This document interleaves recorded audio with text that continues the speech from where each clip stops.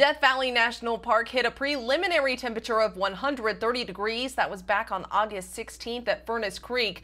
Right now, a climate extremes committee is verifying the temperature, which would be the hottest in the world since 1931. The day after that, Death Valley hit 127 degrees with a low of 104 degrees, a daily average of 115 and a half degrees, tying for the hottest ever recorded. The park set heat records for daily high and highest daily low six times in May, once in June, once in July, and 12 times in August, with three so far in September. It also had 35 days with temperatures higher than 120 degrees. Katie Johnston for CBS LA.